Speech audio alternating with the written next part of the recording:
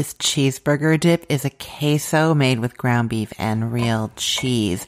I'm using already cooked ground beef and since it's a little bit dry, add a little bit of butter to there first and then your ground beef. Season it with some salt and some garlic powder and you're going to add in some flour. That's going to be the thickener to make this dip nice and gooey. And of course there's cheese later too.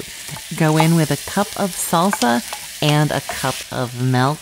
Cook and stir that over medium high heat until it's nice and bubbly. Then you've got to fold in the cheese. We're using three cups of shredded cheddar or any kind of melty cheese that you like and just keep stirring and cooking until it's melted.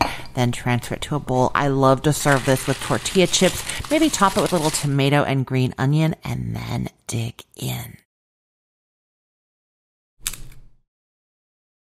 Get more taste easy recipes at cookthestory.com.